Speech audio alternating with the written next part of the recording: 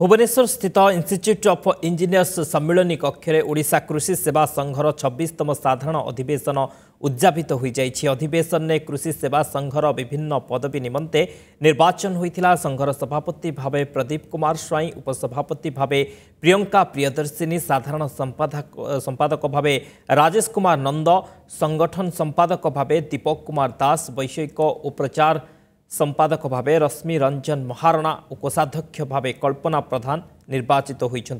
মূর্তিকা সংরক্ষণ ও জল বিভাজিকা উন্নয়ন বিভাগর নির্দেশক হেমন্ত কুমার পণ্ডা মুখ্য অতিথি ভাবে যোগদে নবনির্বাচিত কর্মকর্তা শপথ পাঠ করাই